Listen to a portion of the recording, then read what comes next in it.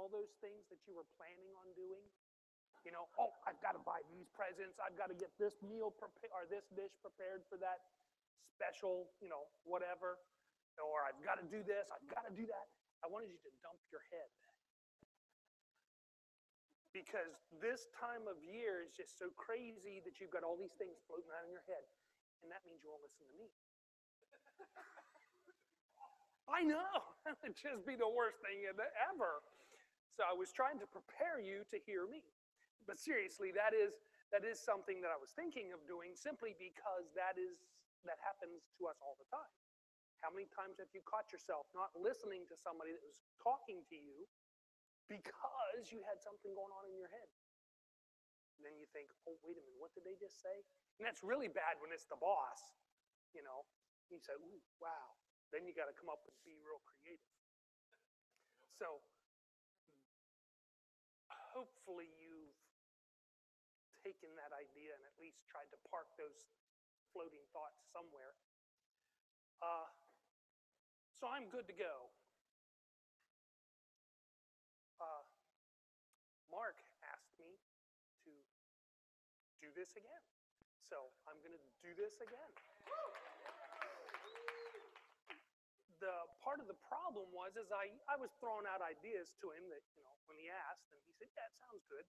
And then when I started to do the, you know, do the groundwork, it grew. It really took off and just started to, to develop, which is a good thing. And I, I think it's a, a God thing. I want to look at Luke 17, 3 to 5. We're going to read 1 to 5, but 3 to 5 is going to be the focus. Uh, I don't know if you noticed, I, I sent the, the title of this study to uh, Diane the other day, and she got it out, I guess it was yesterday, called Lasting Koinonia.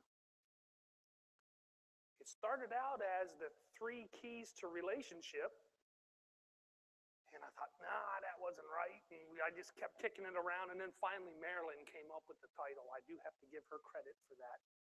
Uh, but it's lasting koinonia you know, the, the emphasis on koinonia that we have had here uh, and people's grabbing on to that concept and holding on to it, this will be how it works in the real world.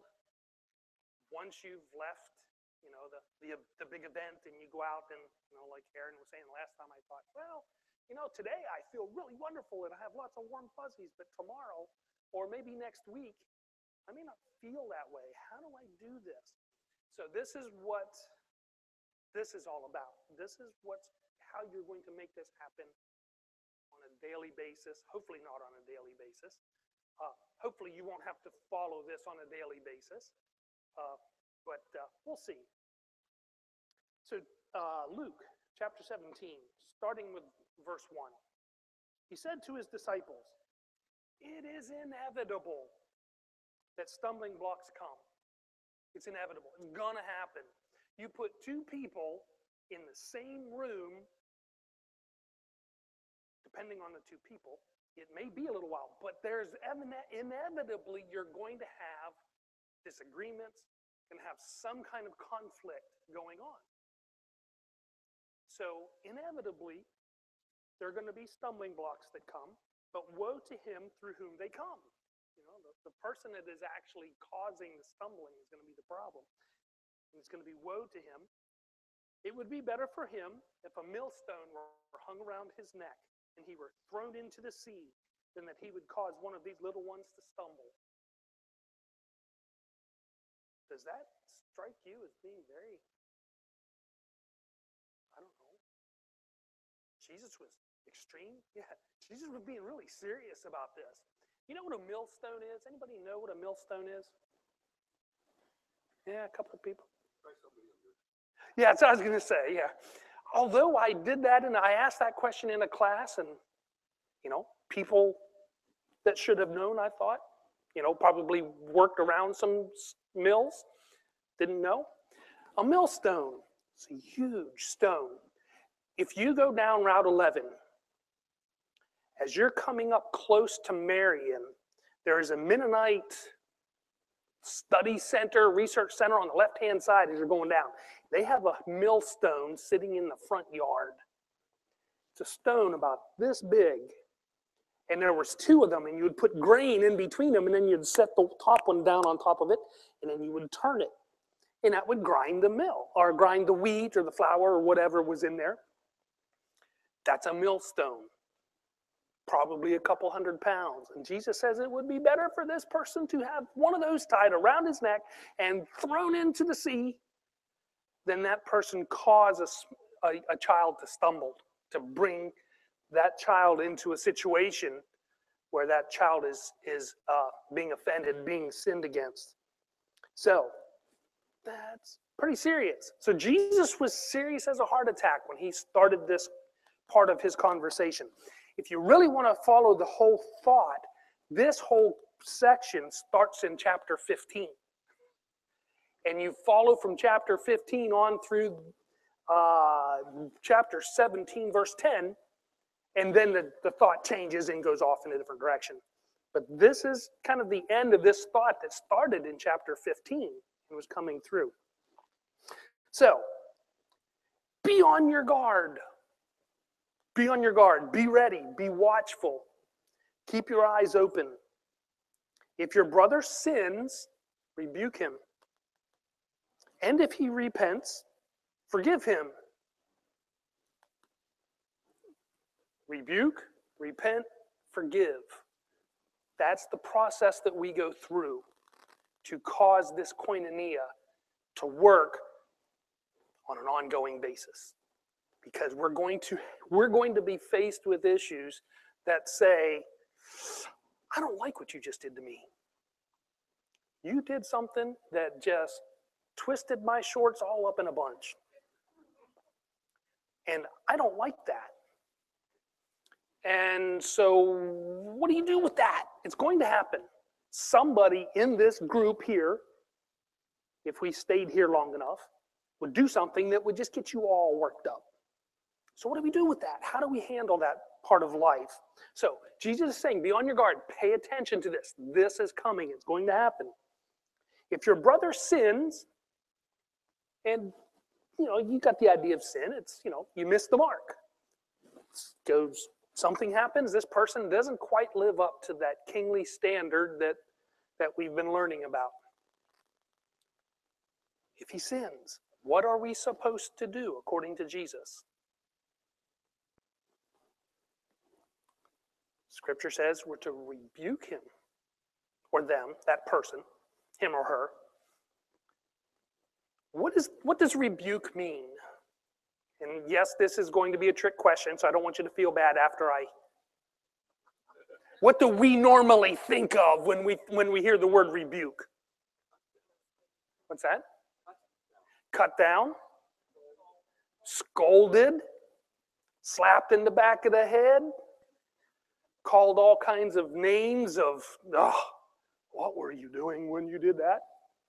That is part of it. But the, the, the full meaning of this word rebuke was just phenomenal to me. I, I never knew this is what this particular, uh, the word that was translated as rebuke here, I didn't know what it was. It's two words put together that mean esteem very highly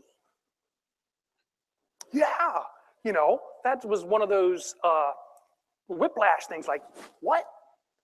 You know, I always think of rebuke as somebody getting in your face and, you know, uh, you know, my mom, look at me when I'm talking to you.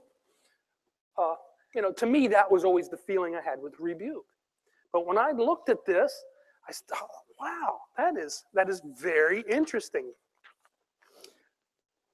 To show honor to, Yeah, it's, it's actually two words epi and timao. Yeah, so an epi intensifies it, it makes it stronger. So it says to, to show honor to, to raise the price of,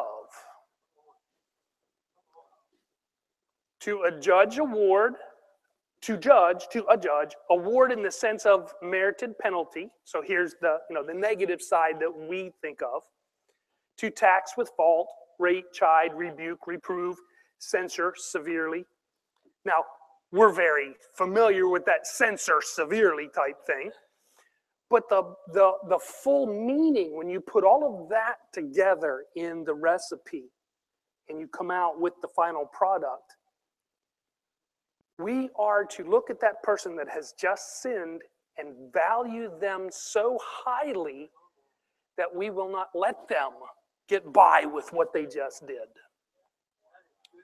You know, I highly value you, and because of that, see, if I didn't care, I wouldn't bother. I just, okay, that's what you want to do, go ahead, and I'm going to go over here. But if I care enough for you, I'm not going to let that just slide.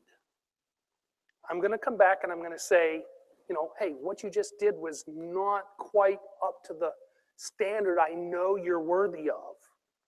Or, and this picture came into my mind. We do have an adoptive daughter. She unadopted us when she was 18. She said, Sayonara, see you. Get, I'm getting out of here. But she was running away that was her method of telling us that she did not want to be in our family. So she, we were living in Waynesboro. She ran away. She and another girl in her class ran away from the middle school there in Waynesboro, walked the whole way to Fort Detrick from Waynesboro.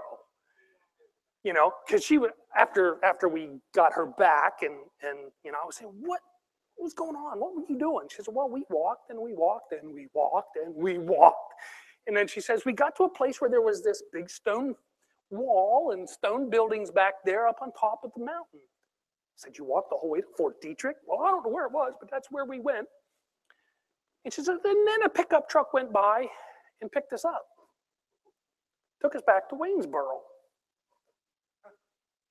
And we spent the night with them.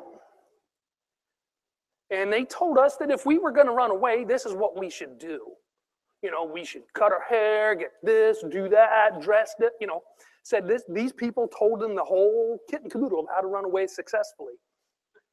And we're sitting in the police office, you know, because we had called the police, said, you know, this missing person. So I was sitting in the police office and I looked at her. What were you thinking? That's what this means. I valued her so much that it scared me to death the situation she put herself in. Said, You have no idea who those people were. And from what I heard later, it might have been a good thing that she didn't know. You know, I mean, they, they could have been, it could have turned out very differently. But anyway, that's what this thought is. When you value somebody so much that you say, no, wait a minute, hold the phone. We're not going any further with this until we've had a conversation because you're more important to me than my being scared that I'm going to rock the boat. Isn't that what we say? Oh, I don't want to bring that up because I don't want to offend them. I don't want to cause problems. I don't want to do this or that. And I understand that feeling. Believe me, I avoid confrontation like the plague. But this this situation says my feelings are unimportant. The value of this person in their life and the direction their life is taking right now is more important. So we rebuke. So, what we're going to do is we're going to honor them. We're going to honor that person for who they are, for who God created them to be, for the identity that they have in them and we're going to admonish.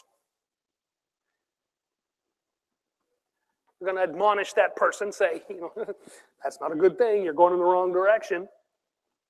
We're going to value that person and the relationship that you have with that person. Even if it is just an, you know, maybe a highly acquaintance, you know, highly valued acquaintanceship. I may not know the most deep secrets that you have in your life. You know, we may not have that.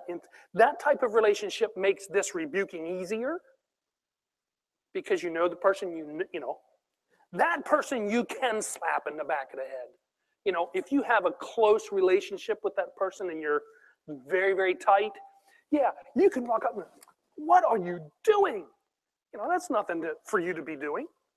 But we value that person and we esteem the relationship.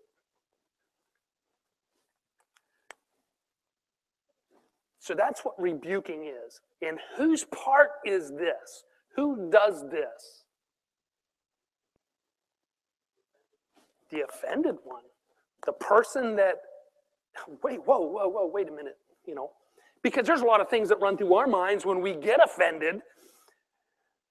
You know, usually it's striking back, but Jesus is saying, no, that's not your first first option here. That's not what you're supposed to do. Rebuke them. Come back to that person and say, no, that's that's that wasn't a good thing for you to do.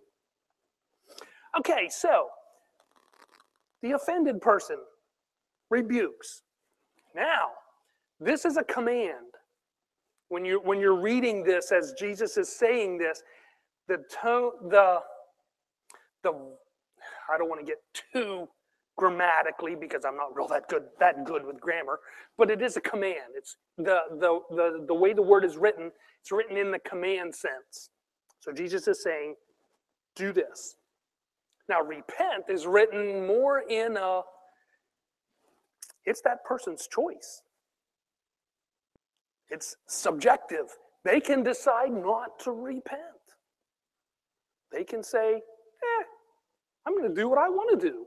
You're not the boss of me. So repent.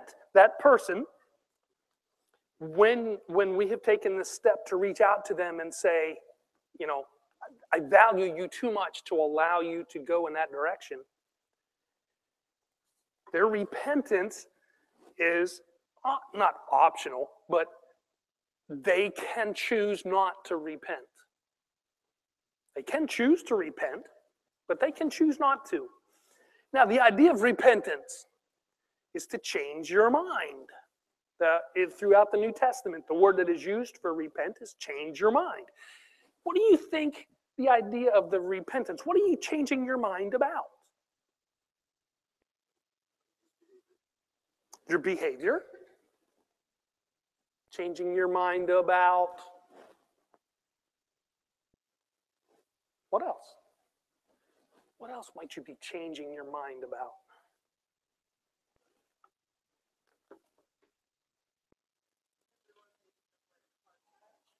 The realization of where your heart's at, the realization of where your heart is at with this person that just expressed heartfelt emotion towards you. So, who who you are?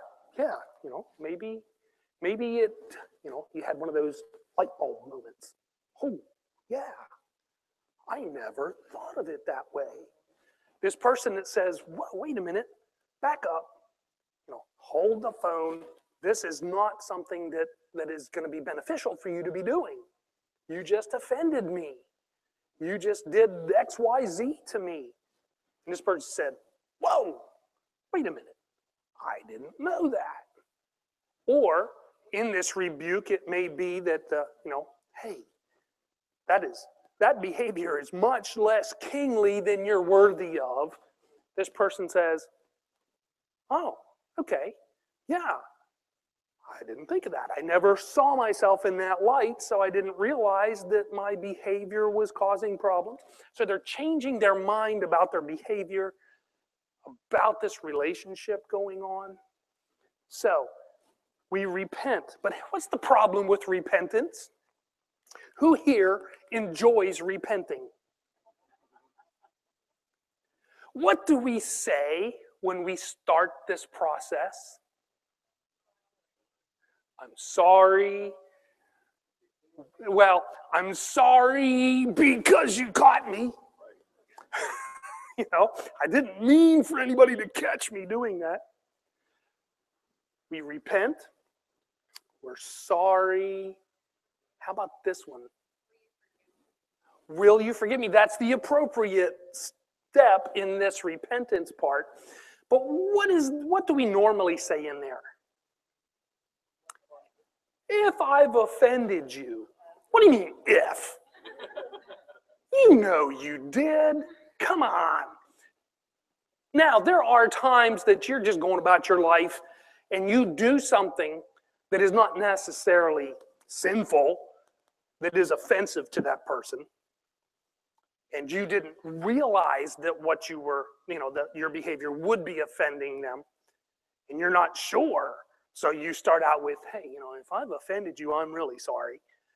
That's okay. But I think a lot of times that if I've offended you is just a way to candy coat it, try to kind of squish around it so we don't face what actually happened.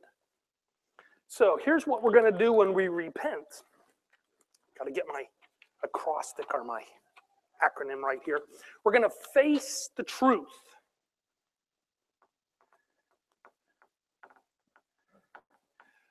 What did you actually do? Now, you may not understand, and most of the times we don't understand full impact of our offense to that other person. I don't know what that is in our minds that we think, oh, this is okay. And then we go ahead and do it, and that other person is just crushed. And then you say, I didn't know that that was going to be that bad. Well, uh, you, well, you just didn't look at it really. So we need to face the truth. What did I do? So let's talk. Can we talk about that a little bit more? Sure. Because I'm wondering if everyone else in the room is probably going to the same place I am with this, which is, well, just because they're offended doesn't mean they're right. That is true. And so the first part of this repentance is face the truth. Truth almost ought to be in quotes. Because I've discovered, and if anyone's married, I can tell you you've discovered this, is that sometimes perception is not always reality. But I've come to know that if I want to have a relationship with her and not just be in the same house, I've got to realize that oftentimes her perception is her reality. And I have to actually go to the place where, even though I don't see it the same way she does, I have to go and see it the way she does anyway. And that causes me to have much more understanding heart so I can repent. So I think truth, it's almost a, a misnomer because it's really not about who's right and wrong. It's really about what's best for the relationship. So if I'm, I'm if I have a relationship with John, I got to know that saying a certain word in a certain way really affects John, but wouldn't affect anyone else. But because I don't think it'll affect anybody else, I just use it with John too. And John, you got to get over it. No. If I want to have a relationship with that man, I've got to realize that that word hurts him. And so the truth is this word affects him in a negative way. You're right, John. I forgot that word. I can use that with anybody else except you. Forgive me. Does that make sense? Yeah. What he just said is true. He's gotten a number of emails from me saying, What did you say? did you really mean? And then I give my my understanding of what he said. He said, No, no, no, no, no. Please. Not then don't go there. but yeah, you know, and that is true. A lot of it, and you know, you're preaching my conclusion here. That's all right. But yeah, we'll get there. Yeah, the reconciliation. That's what we're shooting for. So facing the truth or facing in this rebuke and repentance, there's going to be a conversation. What I, how did what I did affect you? That is more the idea of what the truth. So let's do that. The truth. What you know let's get the let's let's measure out the value of what just happened you know, let's let's lay it all out now the you here is unhindered that is an n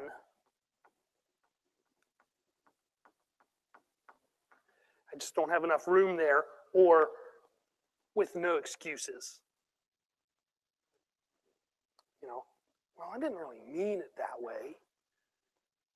You know, I said it, yeah, but I was just joking. No. No, you meant it. You know, no excuses, unhindered, not with trying to, you know, like they say, put makeup on the pig, you know. No. It was this, this is the way it was. This is what happened. Lowly or humbly. You can, you can, you wouldn't really repent if you did this in a haughty spirit. It wouldn't really be repentance, but you could. Well, I'm sorry that it hurt you. You know, uh, please forgive me because I walked all over your feelings. You could do that, but it wouldn't be true repentance. So we're going to do it with humility, humbly. Wow, I didn't realize that what I did affected you that way. I didn't know that, you know, I was I was reading was reading a thing uh, about uh, how Pakistan, how they've kind of switched back and forth in this what's going on over in the Middle East, and you know sometimes they they're for this, sometimes they're for that, but that's their culture. So when we get into a cultural setting, we can do things totally innocent and not even know that we just, you know, just, uh, is it in China? If you cross your legs and show them the bottom of your shoe, that's an offense. You know, because I, am not exactly sure what the offense is, but you know that that's offensive to a, a, a person from China. So, so and where? Muslims, okay. Yeah, so I mean, you can get into a situation and you're just totally clueless. So, you know, I've thought in my mind, if I ever get into that kind of situation, that's the first thing I'm going to say. I'm going to say, look, I haven't a clue. If I offend you, please let me know because I don't know what I don't know what I shouldn't be doing. You know, that kind of thing. But in this setting, nah, you know. You know what you've done and we're trying to get away from actually calling a spade a spade. We're trying to back up and, "Mm, well, maybe. No, just humbly. Just do it lowly and humbly. But in this process, the offender is going to look to the Father for the understanding of what just happened. Father, what just happened? You know, Help me to understand what I've done. Help me to understand what this person is saying.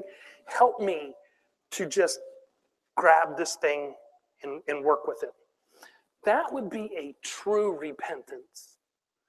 That now, I tried to make this nice and you know have all kinds of learning things that you could remember all of this. But you know, repentance is hard. It's not going to be easy. This rebuke is not going to be easy. This is commanded. This, you have, I'll say it, you have a choice. You don't have to repent. You know, and Jesus left that open. That's your choice. That, you know, he laid it out there saying this person may or may not repent. Now, forgive. See, this is what I told Mark I was going to work with. This other stuff just kind of came along for the ride. Forgive. What is forgiveness? We have all kinds of what? At least five different things that we call forgiveness that aren't really forgiveness. Just like we have all kinds of things that we say about repentance, you know. I'm sorry that you caught me. I'm sorry you. But if we face, if the if the offender faces this and repents truly, forgive, like Jesus says here. He says, if your brother sins, rebuke him. And if he repents, forgive him. Forgive is written as a command. It's written as a command. We are, as the offended party, we are to reach out to that other person and forgive them as a command. I mean, Jesus says that's what you should do, not should. That is what you are to do. You do this. This part here, you've got to let that up to the other person. You can't make that person repent. You can't force it. You can't beg for it. You can't withhold your forgiveness if they come. Rebuke and forgive are commands. Jesus said, You must do this. So, what is forgiveness? I don't know if we want to pass that microphone around. I forgot about the microphone. What is forgiveness? Anybody? Tell. Whoop. There we go. Pass that over to Joyce. What is that? What did you say? So everybody can hear it. to let go of an offense. To let go on- of an offense. Anybody else? um, letting love and and uh, grace cover whatever whatever it was. Okay, letting love and grace, that is definitely involved in all of this. Anybody else? Any other thoughts? Oh no. You've emptied your mind of all thoughts. Nobody's thinking now. I, I think um, moving on, like Moving on.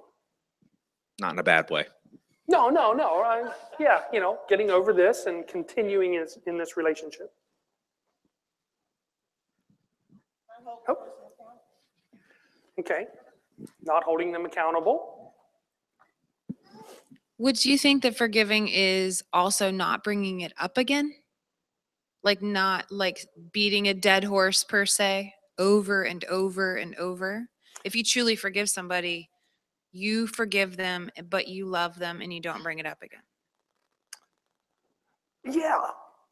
I was thinking there are probably some contexts where it might be Yeah. admissible, but yeah, most of the times you're saying that. It's over. It's done. It's over. So forgiveness. When you, when we talk about forgiveness, this is the Oh, yeah, here it is. To send away. To send something away. To bid go, to bid go away, depart, to send forth, yield up, emit. Those are the types of words that are used in the definition of the, the, the Greek word to forgive, to let it go. Now, I think for us, the easiest way to think of it is, as Mark has mentioned, forgiveness is like if the bank wrote you a letter and said, We don't want your money. We don't want your mortgage money. Your mortgage, we're just going to write it off.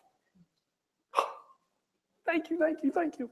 You know, you owe me a debt of some kind. You did something to me, and I'm telling you right up front, this is what you did to me. And, you know, in the classroom, what happens when somebody throws a paper wad? What's the other person throw back? A bigger one, a whole piece of paper instead of just a little corner. Then the other, the first person, they grab their notebook throw the whole notebook. And then the next person takes their desk and throw, you know, it just kind of keeps escalating bigger and bigger and bigger. When you forgive or you remit that, you just send it away, it's basically, you owe me, but I'm not going to collect. I'm not going to collect that. Now, in order to be able to do that, to be able to say, I'm going to forgive, I'm going to just take that debt and just push it off, it doesn't exist anymore, it's gone. To do that, we need to, well, no, uh, these two I wrote in a positive way. The forgive are in the negative side. So I have to come at it from a negative side. So forgiveness is not just forget about it. That's not forgiveness. Oh, forget about it. No, don't worry. No, no, no problem. That's not forgiveness. Eh, didn't bother me in the least. No excuses. Whoops. C U S E S. Ah, they didn't know any better. They're too young or they're too old. They don't know any better. They can't help themselves. You know, we kind of come up with all kinds of excuses for not dealing with this person.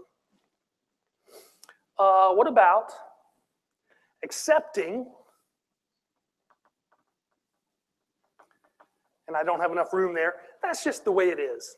That's just the way that person is. That person's just that way. They're not ever going to change. We were talking about that in a staff meeting today about different people that are. I work in a, a call center, a service desk call center, and uh, you know we were just talking about who could we get to be coaches for the new people coming in. This person would be a good coach for that person. And they were we were talking about this one. No, that's you know in all reality, this person, he's given us his best already. But, you know, it's not something that we would want to pass on to somebody else. You know, we come up with accepting. Ah, it's just the way they are. That's not forgiveness. It's not forgiveness. How about smothering it? This one is everybody's favorite.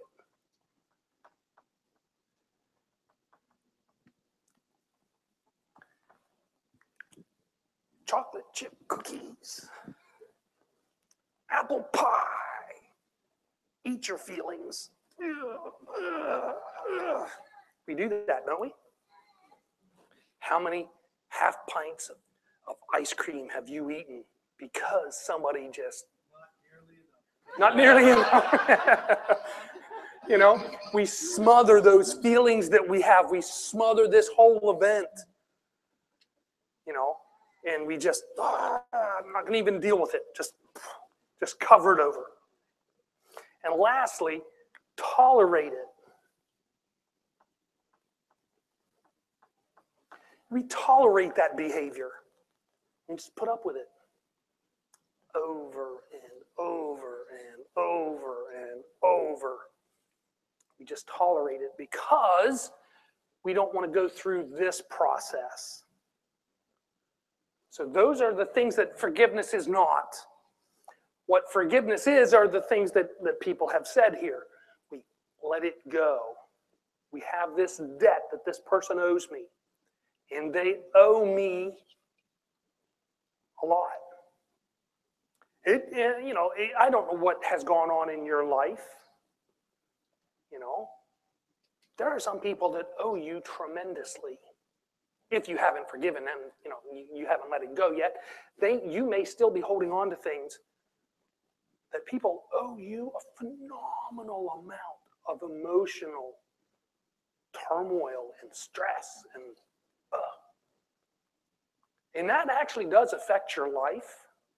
I was uh, reading a thing that uh, they have been able there was two groups working on this that they can take dna from a crime scene and they can build a facial profile with them from the dna now they said the only problem that they're having is they can't account for these kinds of emotional impacts that have on our health and our face or smoking you know if you've smoked you know three or four packs of cigarettes a day for the last 20 years that does have an impact on the way that you look.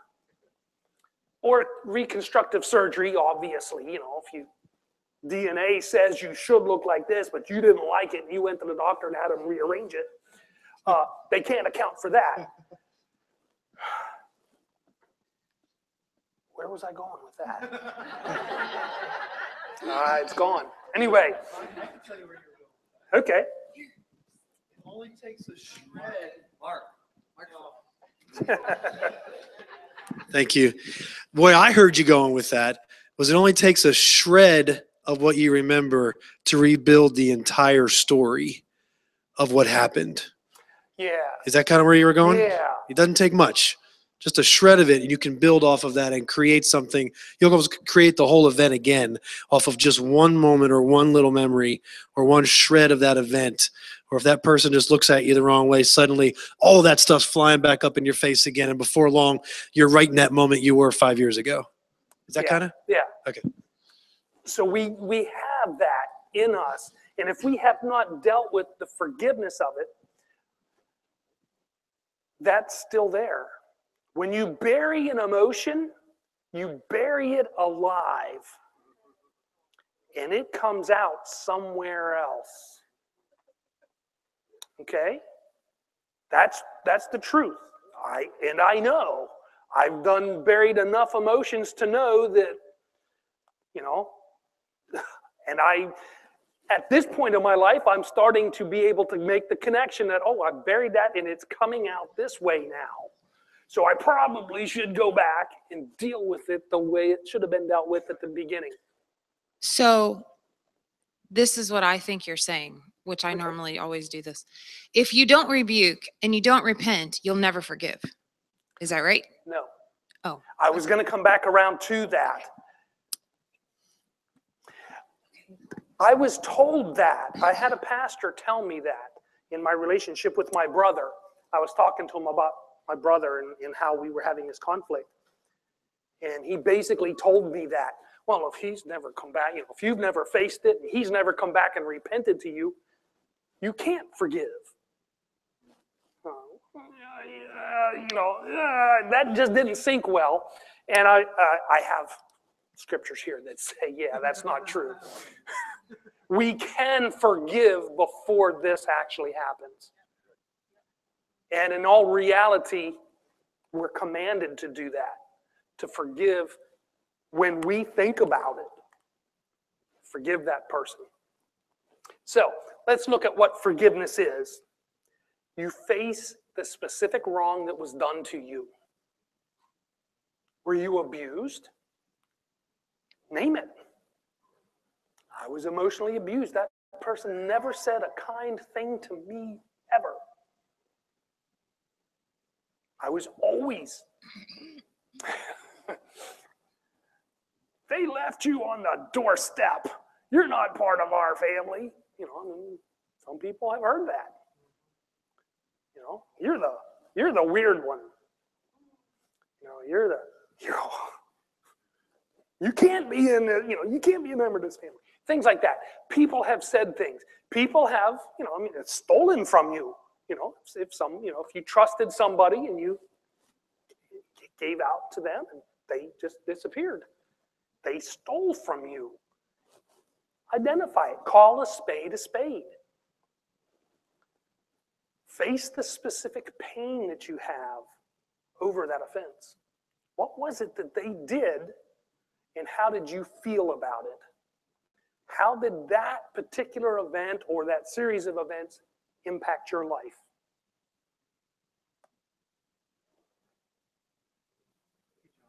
Yes. On. Just for clarity's sake, could you put up on the board, forgive is not those things below? Just so we know, because now you're telling us what forgive is, right? Correct. Yeah. I think it's good just so we understand that. And I, I wanted to put this other stuff on there. I just knew I was going to run out of room. I could flip the board over, but then we would lose the reconciliation.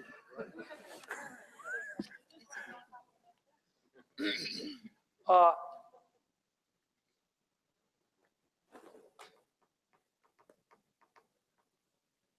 uh, what was it? Face specific wrong. Face the wrong done to you.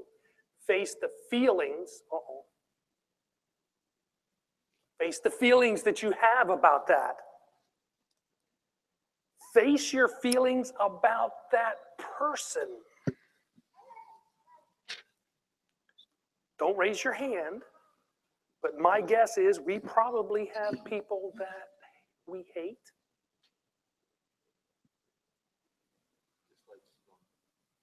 Dislike strongly. Yeah, it's one of those excuses. I just, that was inconvenient. No, that was a total misdirection of my life. So we're going to face the feelings about that person, about them. What feelings do I have about you because of what you did to me? Now, I have feelings of the event that happened. I feel badly that this has happened to me, but I also have feelings about you. And they're not real good right now. Uh, and again,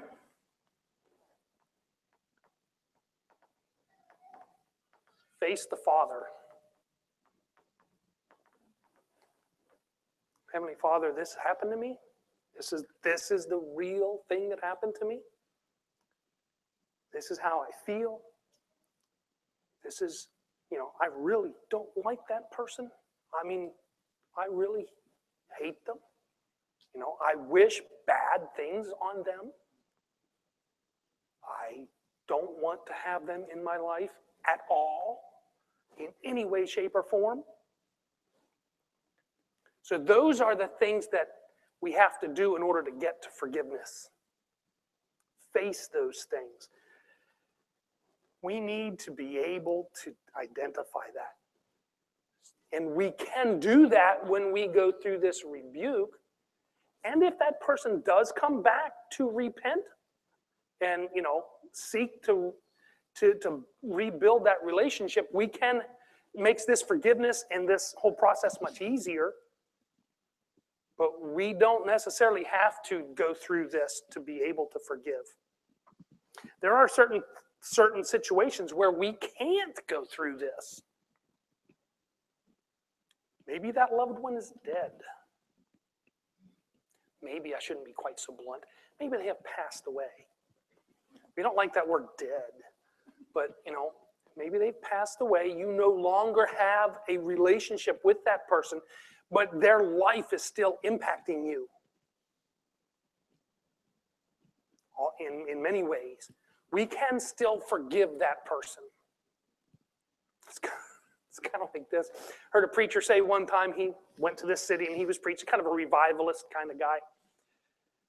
And he was preaching, ah, you know, real good service and everything. And, and he left and he came, they invited him back the next year. And he said he got there and he, you know, did the one night service. And this lady came up to him. Do you know how much I have been upset about what you said last year?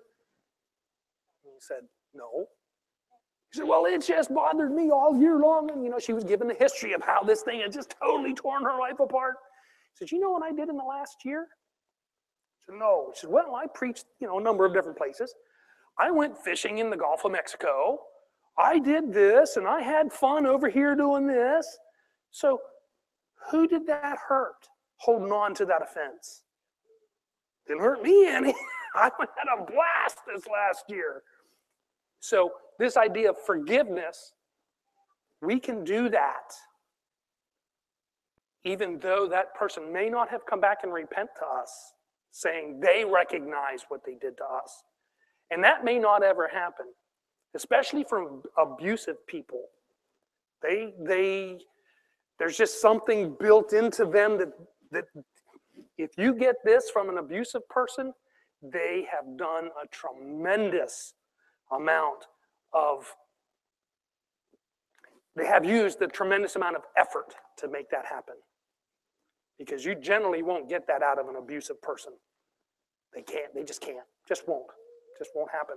So you could you could rebuke them, say, you know what, you know, you you did this and it hurt me tremendously. They're going to say, hmm, that's your problem. They're not going to be able, they don't have the emotional strength to be able to come to this and say, yeah, I know. I was wrong when I did that. So, yeah, we can forgive without that. So here's the scriptures for that. Uh-oh. Here it is. Oh no.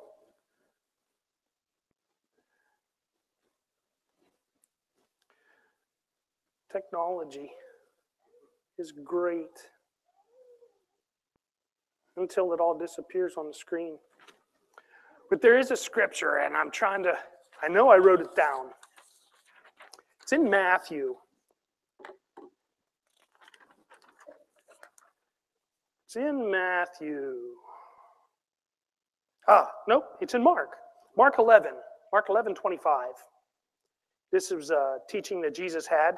He said, Whenever you stand praying, forgive.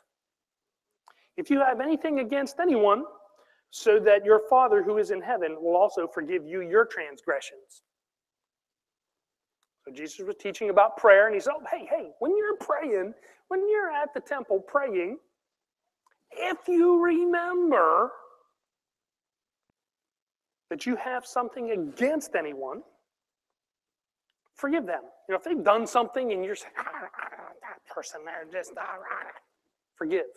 Forgive them as you're standing there praying, forgive them. And Jesus said, Father, forgive them, for they don't know what they're doing. Uh, and who was that? Stephen said pretty much the same thing when he was being stoned to death. You know, everybody was treating him so nice, you know, and he said, Father, forgive them, you know, don't hold this against them. So they did, they weren't about to repent because they thought they were doing something right. So yeah, we don't have to have this rebuke and repentance happen before we can forgive. Go ahead. Okay, so you said forgive them for the know not what they're doing. Is that the same thing as kind of accepting who they are? No. That's too that's too much like making one of these excuses. You can accept what they have done, but that is not who they are. Okay. And that may never change, but that again is not who they are. That's what you know, Mark Mark has been teaching that and, and touching on that in various different ways, that our behaviors are not who we are. Our identity is who we are. But yeah, I understand. People get into a lifestyle of doing something, and sometimes, yeah, you can forgive them, and you may have to constantly forgive them because they don't see anything wrong with their behavior. You don't. Now, let's back up. Are there people, you might probably don't want to pass the microphone on this one, but are there people that you have decided in your life, I just can't be around them? You know, uh, it, there is just no way that we're going to have any kind of a reconciliation, no kind of a relationship simply because it's, it's just not going to happen. You know, you can try and fail and then say, "Eh, well, it's time to stop. Yeah. Uh, can you forgive and uh, still decide that that person's not a good influence in your life and you don't want to be part of their life? That's exactly right. You know that what that person's doing, they're not going to change unless the Lord intervenes, no matter how many times you tell them, hey, you know, that has been an offense to me. They're going to say, well, that's your problem. So, yes. Now, this idea of forgive, uh, I think you said forget. Somebody said about forgetting. Uh, that's harder to do. That, that comes after forgiveness. Our will comes by freight train, the emotions come by slow, you know, choo choo. Our feelings come way behind our will. We decide at this point here, we say, I release them from their debt. I am not going to hold this against that person anymore. And tomorrow, you're going to say, I forgive that person. I'm not going to hold this against them anymore because you feel like nothing has changed. Our feelings will come. Microphone.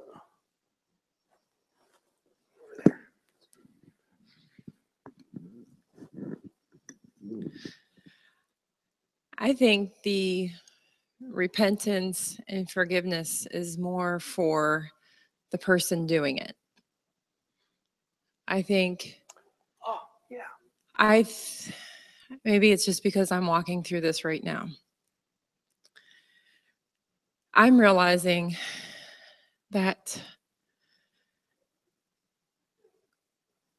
I don't, the rebuking can be tied into repenting, but we don't need rebuked in order to feel led to repent. Correct. Because I've, I feel like the, the Father has been talking with me and leading me to a place of just wanting and desiring to repent on my own.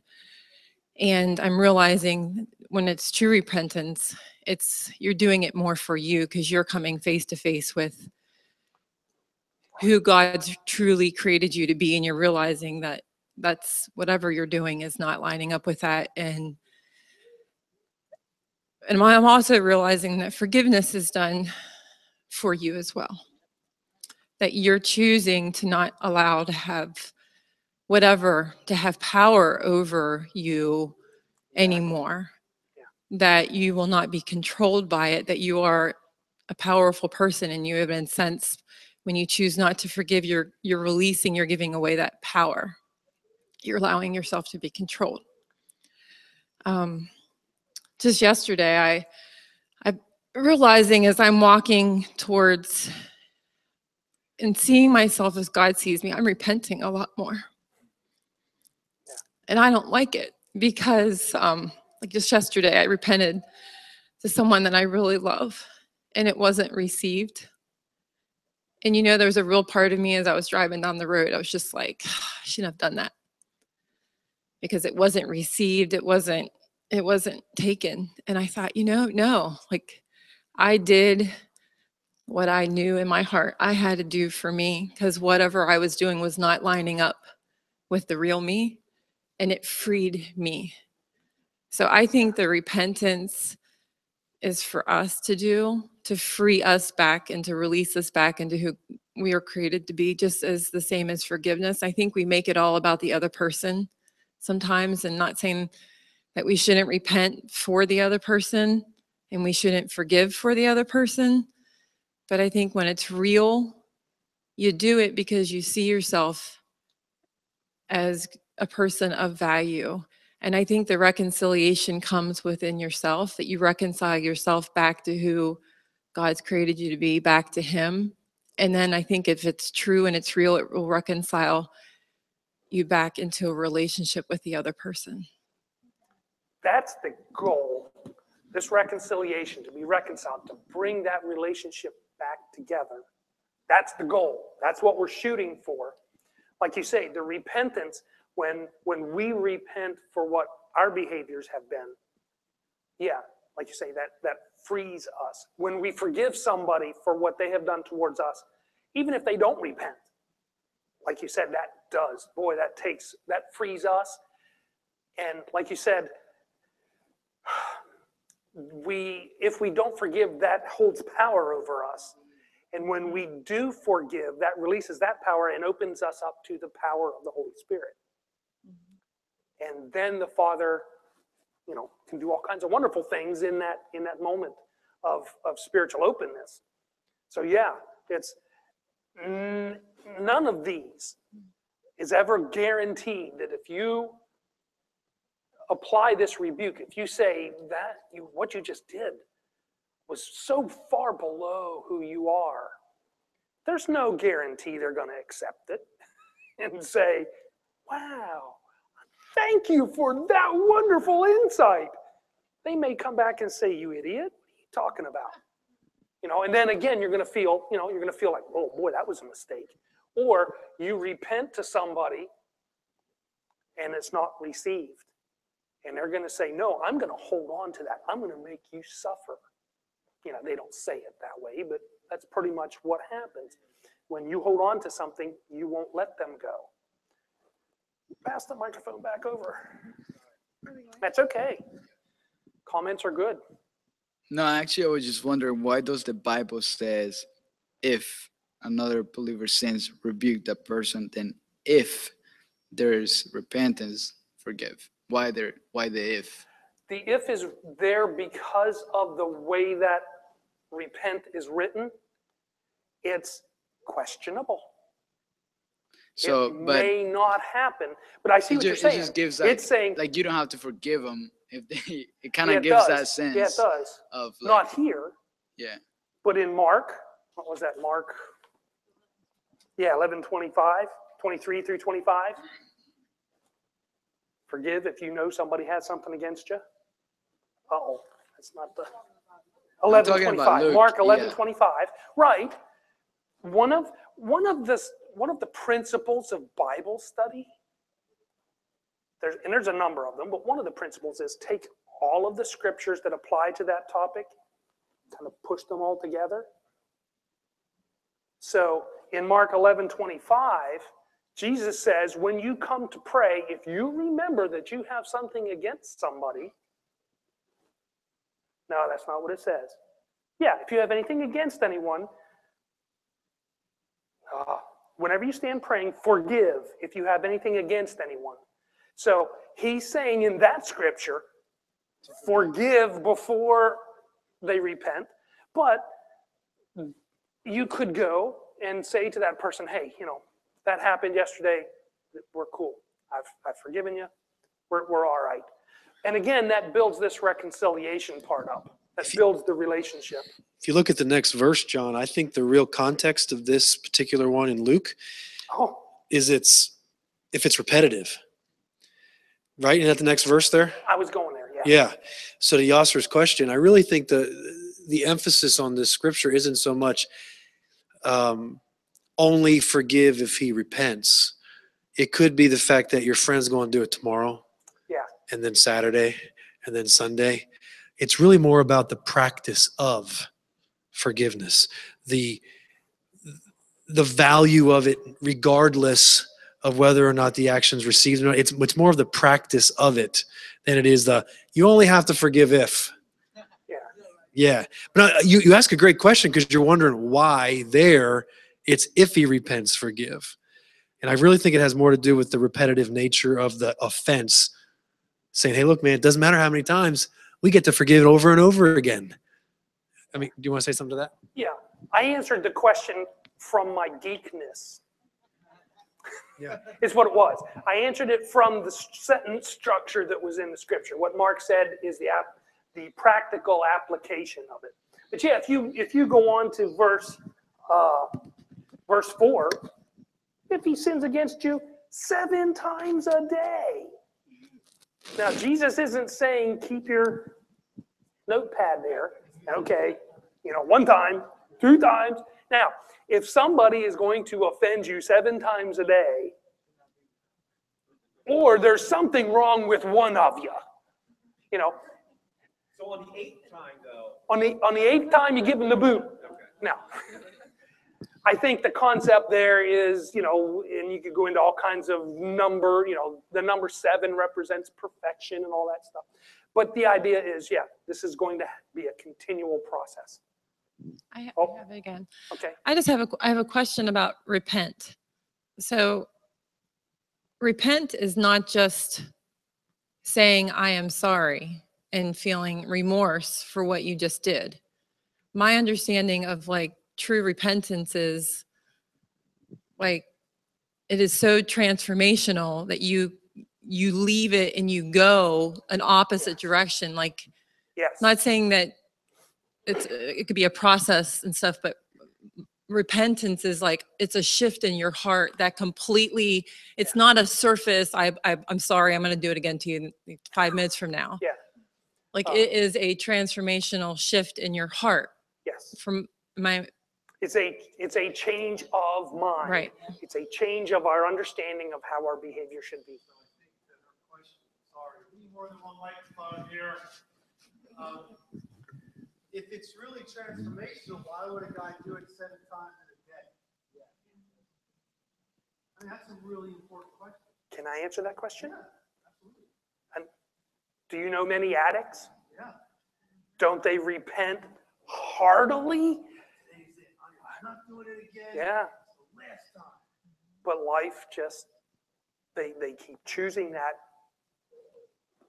over and over. And to, to maintain this relationship, we need to work on that forgiveness of it. It comes, they come back to it, we forgive them. So can I just finish that thought? Oh, sorry. I'm willing to read August's mind for a second, which could be scary. But it's the kind, maybe it's not repentance. It is seven times a day, is he really repentant? Is uh, he really, I- is the addict really changing his mind? Is really turning and going another direction? And I think it's an honest question. I think if we're, if we're not careful and we just shout out, no, it's not repentance, then we take away, oftentimes, I don't know about anybody else, I've had to repent hundreds of times before it finally sunk in, and I finally turned for the last time. I almost had to practice changing and turning before it became my new lifestyle. So repentance actually has nothing to do truly with the outward action, but the heart. Yeah. Because your heart can mean it seven times. Yeah. And it might just take a while for your action To catch up. to catch up with Yep. your heart is. Yeah, There's a pattern that you're trying to break. And I think that's what Jesus is really alluding to. in this story. Yeah, and if you study the brain and how our behaviors form patterns in our brain, it takes a while to rebuild those neural pathways. That's not what we're used to though, even society, we're used to, I'm sorry, it's surface. It's a, it's a fleeting emotion, but there's no quick, there's no heart change taking place. We hear that all the time from politicians. It was a misjudgment. Yeah, So um, I'm going back a little bit, but you had said that if it happened seven times, there's something wrong with one of you. So my thought is, is before I would go and rebuke somebody, maybe sometimes I need to look to the Father first to make sure it's not me. yeah, which is where I was kind of headed with that. That, uh, which is okay, I'm glad you brought it back. But yeah, you know, maybe I'm the one is, that is being too easily offended. Maybe this person's not doing anything, but I'm the one that can't handle that person and what they do. Well, you know, maybe we do need, maybe we need to be repenting for holding them to such a high standard that they can't ever hope to meet.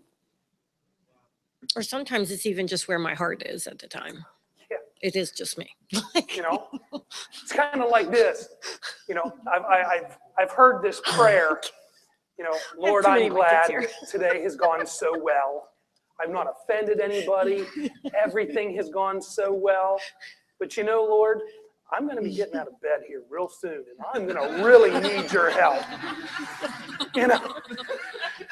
That's just the way it is.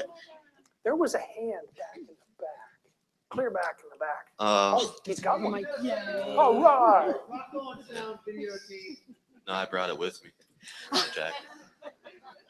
Uh, this was before, I guess I was just thinking for a different idea about relationship and how it's so involved in forgiveness, you know.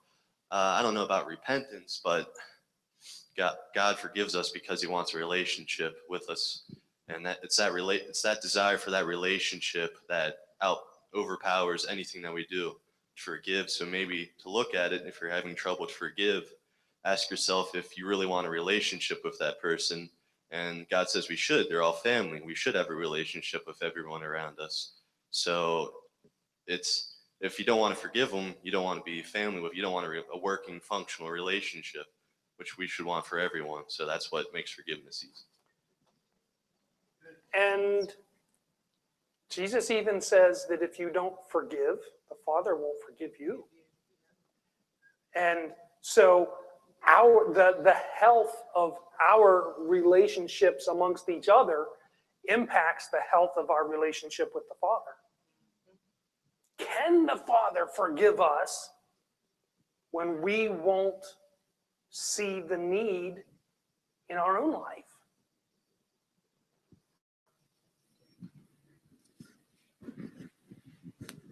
I think it's interesting that Jesus said, Father, forgive them, for they don't know what they're doing. Uh, I think it's interesting in a couple ways. First of all, uh, it kind of answers the question that forgiveness is not uh, predicated on the other person rebuking, I mean, uh, repenting or not. It's just kind of like a straight across the board forgiveness.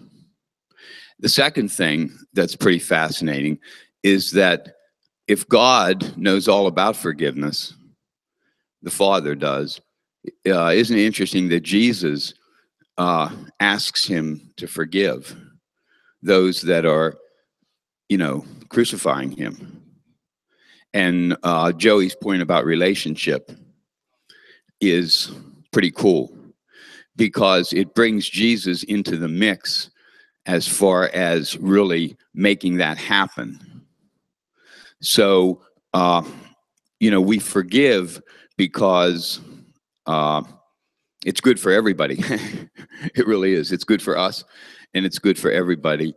And uh, we have a part to play, as Jesus demonstrated, by really engaging. You know, he's the, the great mediator, he's the mediator between God and man. And he really brings it in. So when we are willing to release and forgive, it really, I think it releases the Father t- and the Father's heart to flow freely through us and through the other person. And as far as repenting, Graham Cooke, I like his uh, statement that repentance is not a one-time deal, but it's a lifestyle. Yes. Can I share something real quick? Sure. Okay. Everybody can say The grammatical way to say that was may I. Sorry. Um, so the cool thing that I see through all three of your frames there is honor, even though it's not written written in every single one, because I see if someone rebukes me, they're honoring me, and if I repent from sincerity, I'm honoring them back. And when they forgive me, they're honoring themselves and they're honoring me. So if you want to talk about koinonia lasting, I think that's how it lasts. It lasts on this foundation of honor where when we function in this type of um, culture and this type of family with each other, um, you just, it's like this domino effect of honor. I honor, you honor, we honor. And when you do that, you just, you're choosing to see the person no matter which circumstance you're in. I see you, you know, and um, I actually, I, so I got hit the other day and the person kept going. And after um, the redheaded side of me came out and I chased them through Chambersburg, um, I, I drove back to work after I didn't find them and I was so upset. I was so bitter. I didn't even know them. And all of a sudden I wanted their tail light to be busted like mine was or something.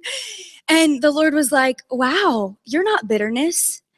And I, I just had to sit there and I was like, okay, I really do forgive them. I don't know who they are. And so all of a sudden I find myself asking the Lord to just bless them. And it's not like tooting my own horn, but it's just as soon as I made the decision that bitterness did not line up with my identity, it was released immediately into what needed to be hap- like I needed to forgive them. And then who I really am says, you know what, Jesus, just bless them. If they can't afford insurance and that's why they ran off, provide the way for them to be able to afford it, you know?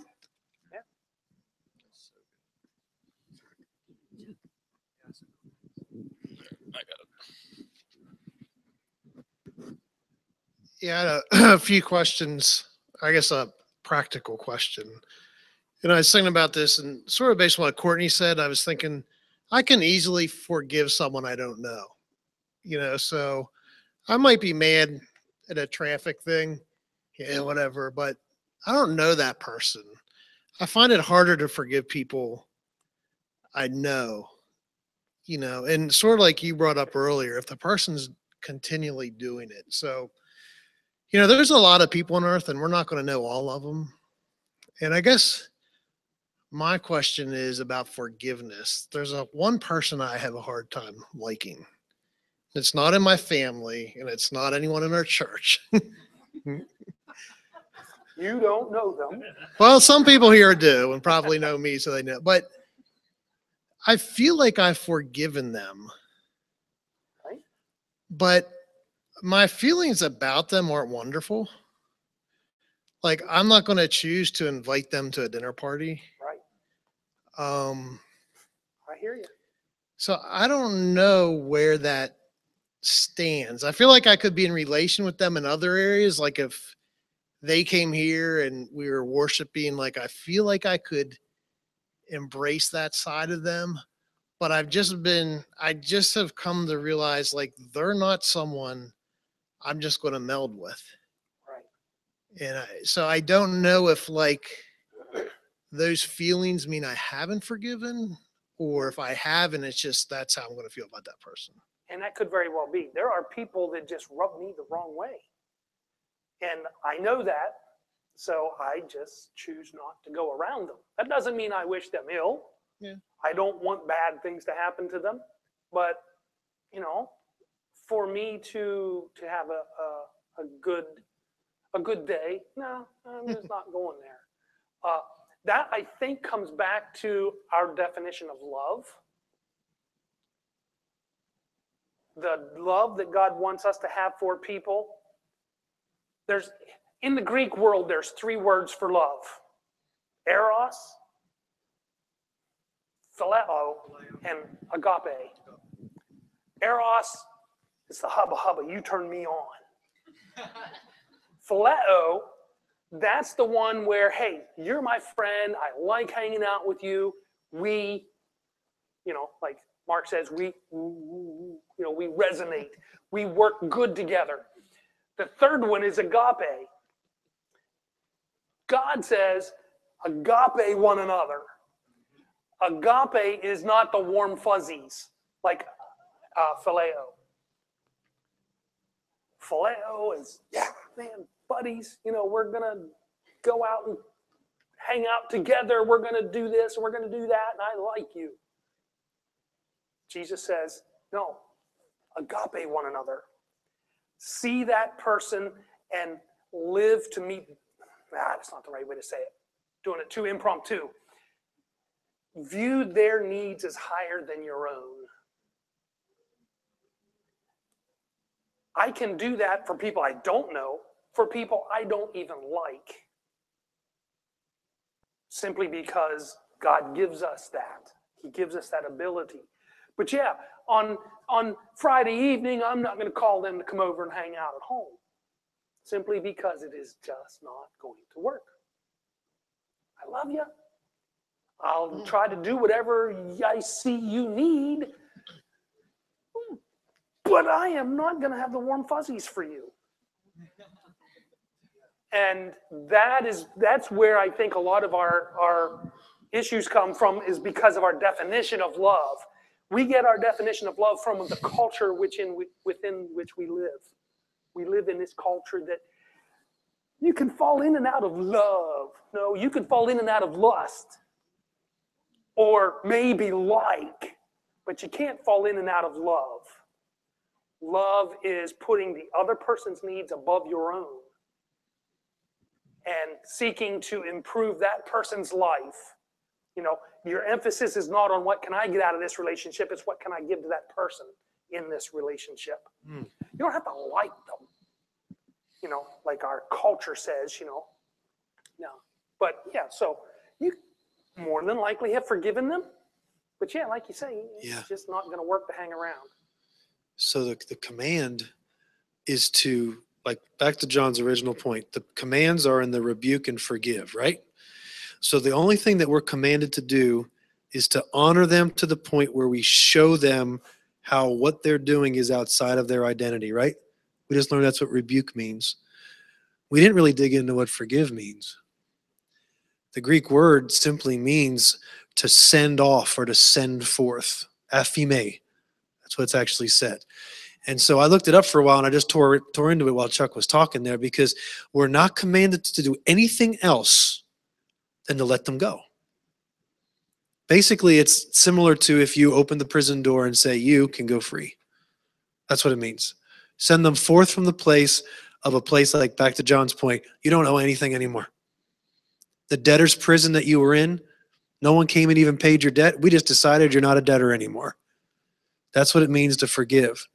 Outside of that, there is no command to bring them back into your life, into a close place. There's no command that you have to make them the most important person in your life. There's no command that you got to pay them a hundred bucks a month, whatever it might be. The command is don't keep them in your prison anymore. Anything else is up to you. You can. I, I have learned to love people and not have them in the highest place in my heart or even a close place in my heart. I've learned to love someone and completely honor everything the Lord tells me to do for somebody. You guys with me? That's a really important thing for us to remember because we think part and parcel with forgiveness, yeah, oh, yep, we just got to bring them back in. Otherwise, we're not being Jesus to them. Oh, no. Jesus was not tight with everybody. Go look. He wasn't. He knew who to bring in. Even inside of his own disciples, John, there were three that were closer to him than the other nine. Yeah. And he loved he loved Judas. Yeah. And but he knew that Judas was going to betray him. Right on. Now this rebuke, part of this may be I'm not going to hang out with you until you decide to change your behavior. Mm-hmm. Because it is just too too far out. I can't walk with you in this relationship while you're doing that, so I'm gonna have to withdraw. So I'm, you know, I, I can't go there. And that doesn't mean you don't forgive them. That doesn't No. mean you don't love them.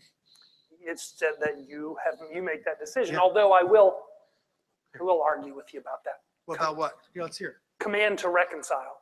You can reconcile and not have them close in your life, though.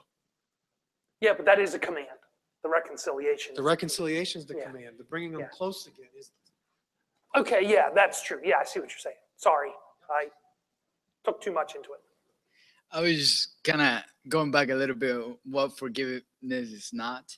Uh, you said it, accepting as one of them. But uh, whenever I see Jesus says, forgive them for they do not know, you know, better, any better. They don't know they're crucifying God, you know. So Jesus was accepting in a way. uh, That's what I'm kind of seeing. He was accepting that they didn't know any better and letting them off the hook. You know what I mean? Yeah, but he recognized exactly what they were doing to him. Yeah. Yeah, and he just said, well, But he accepted the fact that he accepted the fact of what they were doing. Yeah. Yeah. What were you saying there, John? You got to not accepted. Just not accepting that's the way they are. Yeah, yeah, kind of boys will be boys and nothing's ever going to change. So, Hoping for any kind of change or yeah, yeah, it's, it's kind of Yeah, I- getting out of this perspective, not being, not caring enough for that person to even challenge their behavior. yeah accepting like that oh they're just gonna sin and that's just gonna be it that's that's not what he was getting at i think he was forgiving them even though they didn't know they were sinning that's Yeah. that's still what they were doing it's still sin Yeah, they certainly would not have thought what they were doing was wrong. They thought they were doing the right thing. but that doesn't make it right I wanted to, I yeah. wanted to point out, and he was asking about the if part, um, if they repent, then, but in the Lord's Prayer, it says, forgive us our debts, or whatever Yeah. the word is, as we forgive those who sin against us or whatever. So it really is, if we want to be forgiven, we really are supposed to forgive. She got up and started walking around, and I thought, oh boy, I've lost her. She's she's my canary in the in the mine. When when Marilyn starts to get fidgety, I know everybody else is about ten minutes behind her. So I was going to start trying to wrap this up, but uh, she had something to say. She had some very valuable words to say. With the Kendall's point, when he was saying that Jesus being on the cross, being God, asking God to forgive them. I'm thinking, could it be that on the cross, asking God, being God himself, but asking God because he was also the Son of Man and it was an example to Yeah. us. Oh, for sure, yeah. Now, there any other input comments? Wonderful thoughts coming. I, I like this. Uh, microphone back in the back again. Oh, we lost our second mic. I had it here. Oh, you have it. I don't know if I want to take you someplace else. It sounds like you want to go. There is, yeah, one more thing. Uh, I guess I just had a question. If uh, when when you forgive, is it even possible or wise to forget? Like, do you think you should remember, like, Ah, like, that uh, brings me back to her question Oh, okay. forgetting it. Yeah. okay, Can we actually forget? yeah, like hypothetically, uh, a best friend shoots another best friend in the foot with a BB gun, you know, and I forgave the, the other guy forgave him. Didn't happen to me, but Yeah. you know, but he he lost his BB gun privileges because he pumped it up nine times, and that's Only nine? not cool. Ah, Well, I, I mean, Yeah. hypothetically. no. But yeah, can we really forget? No, we really can't. And the, God can't forget either. You know, it says God will forget all of our, he doesn't forget, forget. He just doesn't ever brings them up again. Well, doesn't it say keep no record of wrong? Yeah. But he, God can't forget. So,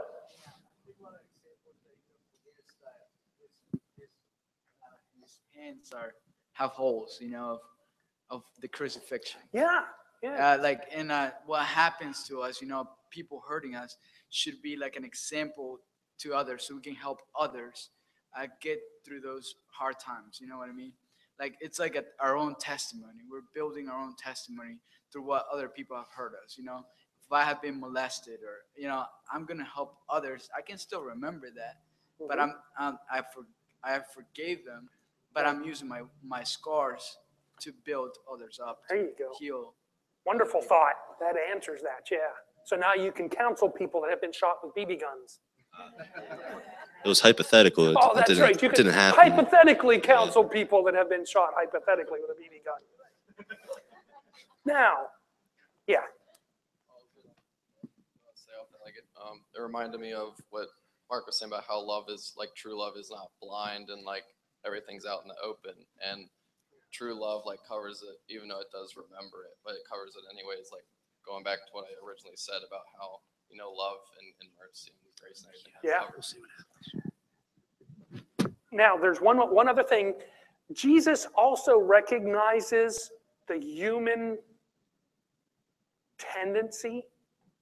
So he, he put in the end of this section of, of, of Luke where he helps us to prevent muscle damage.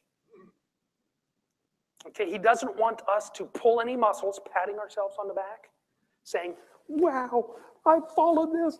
I did so good. This is great. Because of the, the rest of this section here, if you start at verse 5 of, of Luke 17, the apostle, oh, this, I'm sorry, I, I like this. This is, this is me. You know, after Jesus, if he sins against you seven times a day and returns to you seven times saying, I repent, forgive him. What's the apostles? What, what did they say to him? Oh, Jesus, come on. You're going to have to increase my faith if I, you expect me to do that. And then Jesus goes on and says, Hey, if you had faith like a mustard seed, you would say to this mulberry tree, Be uprooted and planted in the sea, and it would obey you. So he says, You have the faith. Uh, it's 8:30. Uh, yeah, I'll do it anyway. Uh, up here, right when Jesus said, "If he repents," that if in in the Greek languages language, there's two ifs. One is the if that we use. If this happens, then I'm going to do that. We don't know if this is going to happen. In the Greek language, there's that one. And then there's one that says it's like a rhetorical if, which is the one that Satan used with Jesus. If you are the Son of God, it wasn't that Satan was trying to get him to doubt he was. He says, if you are, and we know you are. That's what Jesus is saying here. If you had faith as a grain of mustard seed, and you do, he was saying you already have what you need. Let me say that again, John. Yeah, this if. He says, if you had faith like a mustard seed, you would say to this mulberry tree. And he wasn't saying you might, he was saying you already have it. You have. It's a if, it's a rhetorical statement. If you had it, and you do, we know you do, you could do this.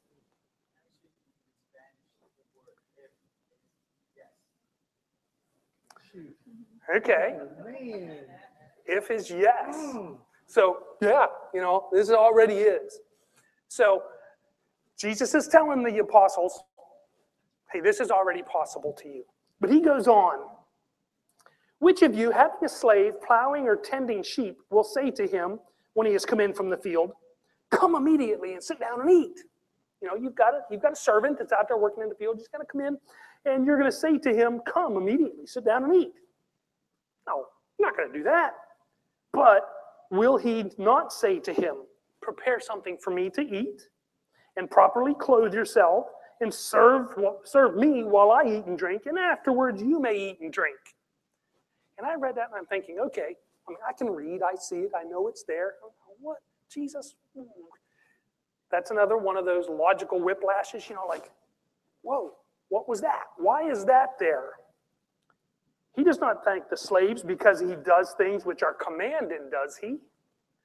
So you too, when you do all the things which are commanded you, say, We are unworthy slaves. We have done only that which we ought to have done. I've only done this. Mm. I don't have to do this and say I'm such a good Christian because I followed this principle. You've been commanded to do this. If you choose to live according to your identity and follow this pattern, you've only done what I've commanded you to do. Yeah. you know, because we, I do. Ben Franklin even did it. He, he made a little book. He, he had all kinds of really wonderful ideas. He made this little book that had columns in it, and he would put the day. And down this, the left-hand side, he would, there were 12 characteristics that he wanted to infuse into his life. And at the end of the day, he would go through and he would mark these columns, say, yeah, I did that. I did that today. Oh, no, I didn't do that so good. And then he came up with this wonderful idea. 13th one was humility. And it didn't stay in his book too long because he realized, he said, every time I thought I was humble, I got proud about it. You know? So, same here. You know, we can get to feeling like, yeah, I'm, I'm pretty good at this. I'm doing this. Uh, I have done this. I've fought. You've only done what you've been commanded to do. Hmm. You know, it's that's the way it is. And reconciliation is is a command in uh, Matthew 5. And I, I, I, you could spend all time on this. Matthew 5, 23. Therefore, if you are presenting your offering at the altar, that picture there to a Jewish person at this time, all, you're at the temple in Jerusalem. No, you're at Walmart, December 24th and you've gotten in the line to pay for your stuff, and you're the third one from the cash register because you've stood in line now for at least an hour, and you remember, oh man, clear back in the back of the store is something I need to get. That's kind of the feeling that Jesus is talking about here. You have come to the temple to offer your burnt sacrifice. And you've got your animal there and you're waiting and you're going, and all of a sudden, and there, remember that your brother has something against you. Not that, not that they have done anything to offend you, you have done something to offend them. Leave your offering there before the altar and go. First be reconciled to your brother, and then come and present your offering. You know, in the movie The Nativity, there's a, like a two second scene of somebody at the altar where they were bringing all, you know, had all these animals, people everywhere. And you remember, oh man, somebody has a problem with me. What do you think? First thing is, oh, I'll do it after, right? Right after this is done, and then I'll go because, you know, I've been here all day, waiting for all these sacrifices to be handled. I'll do that. And Jesus says, No, leave your animal there, find that brother, and be reconciled. That's how important this whole idea of reconciliation is to our Father. He doesn't even want your sacrifices until you have reconciled with your brother. He doesn't want your prayers until you have reconciled to your brother. He doesn't want anything from us until we've made those relationships with our family correctly. Pretty important stuff, I think. I think Jesus, you know, placed an awful lot of importance on all of this. So that's it. Any other comments, questions? Mark, you had something you were going to go with? Well, I got, I've got two things. The first one is just this point right here. And I, these people should be used to me thinking out loud because I do. Reconciliation really does mean to bring you back into a place of where the relationship was originally intended to be. If you actually look at it in the Greek. So I guess I've got to think out loud with you guys of what does it mean once the forgiveness has taken place if the behavior does not change, to what level do we bring them back into our life and potentially cause damage again? I think it's a real legitimate question to ask one another, ask ourselves. So I think to your point, if Judas would have repented and come back to Jesus, I don't think he would have made him one of the three, but I think he might have placed him back to where he was. I don't know. I'm just thinking out loud here, guys. What what does reconciliation look like to someone who you're not sure if they have truly repented? If they have really changed their behavior?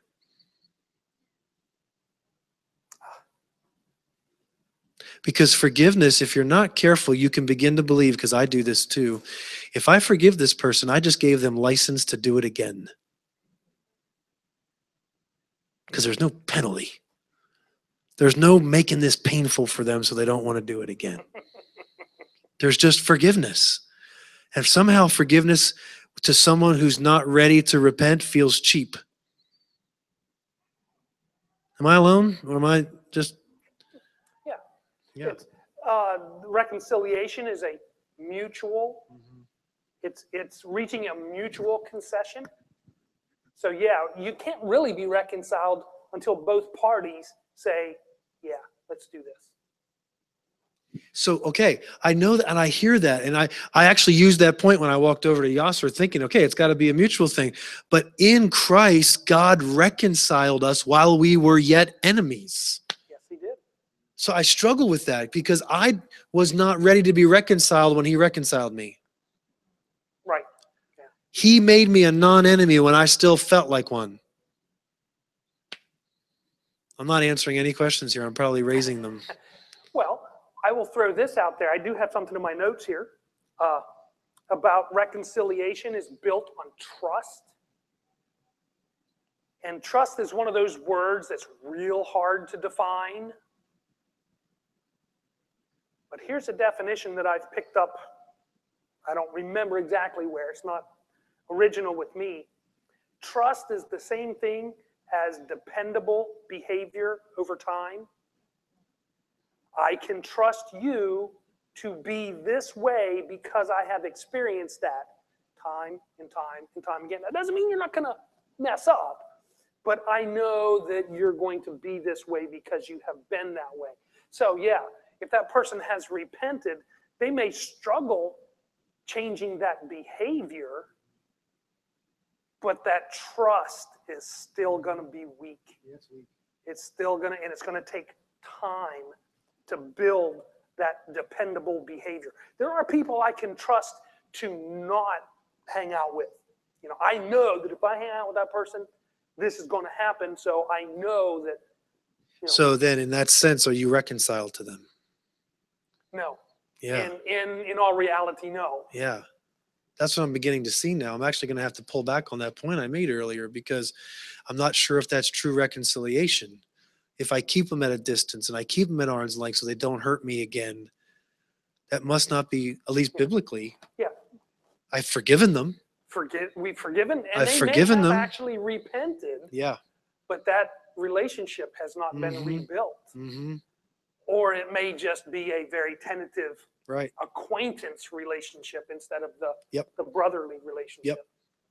That's what makes all of this so hard.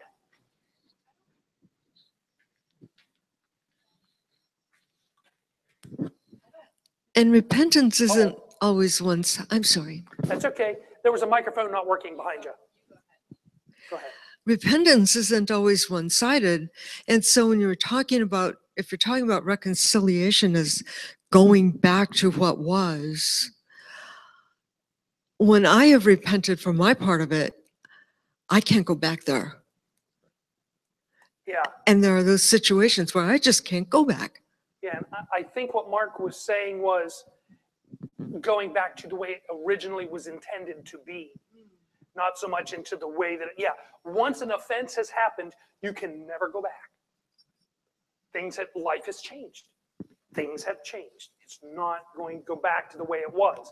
There will always be something different in this relationship now. I keep thinking to what Mark said last week about how the, the turning of hearts towards the other. Like the father turning his heart towards the son, turning his heart towards the father. Just that just keeps coming to me that that's what Like, does, we think reconciliation means we need to like be in relationship and we need to like make it be something.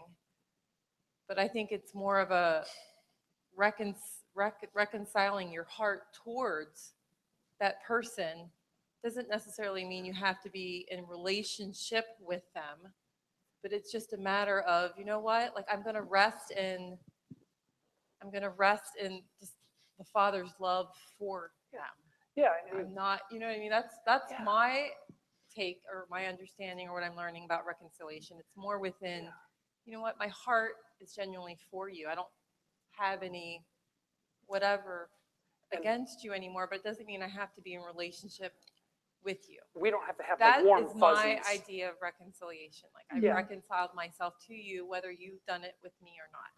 True. And I, as you were talking, the, uh, the thought came to me of, you know, like politicians or, or people that are on negotiating teams. We can reconcile two parties, you know, on a, on a broad basis. We can reconcile two, uh, like a union and a business. There can be a reconciliation. That doesn't necessarily mean that they're gonna, you know, fall all over each other with hugs, but you know, they've come to a mutual concession where this is the way we're gonna move forward. Takes two to reconcile. Takes two to reconcile, yeah. Can can I build on this? Mark, something that you were saying. I'm just going to think out loud here for a second.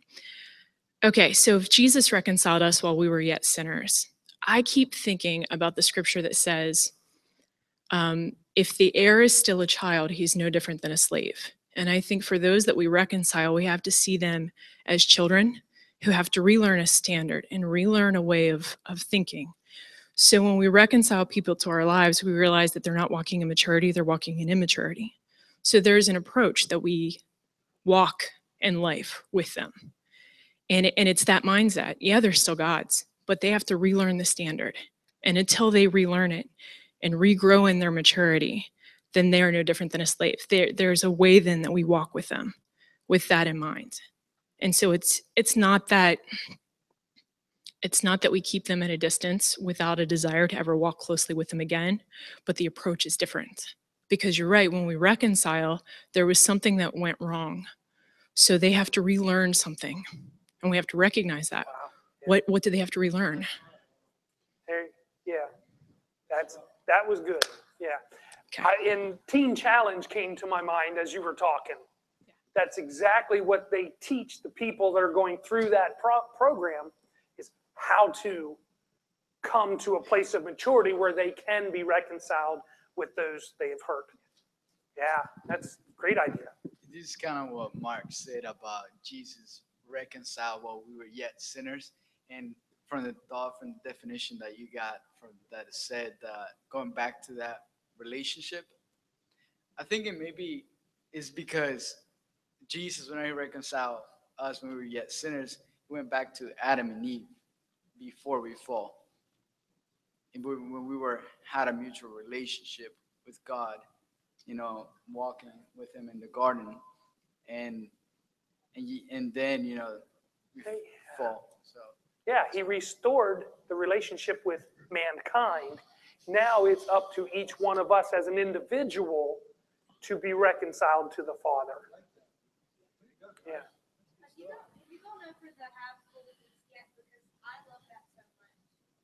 Ha- Yeah. Well, must have been a little longer than a second, but yeah. Mm-hmm. That's okay. I'm just messing with you. Sorry. But, it- but you, you have to put an A in here. Have a full feast. That in my mind, I was thinking, there's no way I can put an A in there. How do I do that? You know, but yes, have a full feast. That was a memory, what a mnemonic or whatever, trying to help you to keep that in your head. I just think- want Go ahead. I just want to say, um, when you were talking about the reconciliation and going back to the way it once was, sometimes what your perception of what it once was is not actually what it was. Yeah. yeah. So going back to what you thought it was is not a possibility anymore. Yeah. Marilyn's not bouncing her leg yet, so it's not time to leave. But yeah, she just got up and went crazy. No, seriously, I do. I use her as my barometer.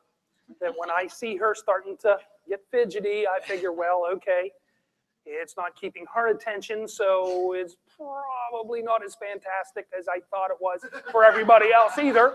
So maybe I better wrap it up. So, so I'm I'm done. If anybody else has any other further comments, that would be great too. Good.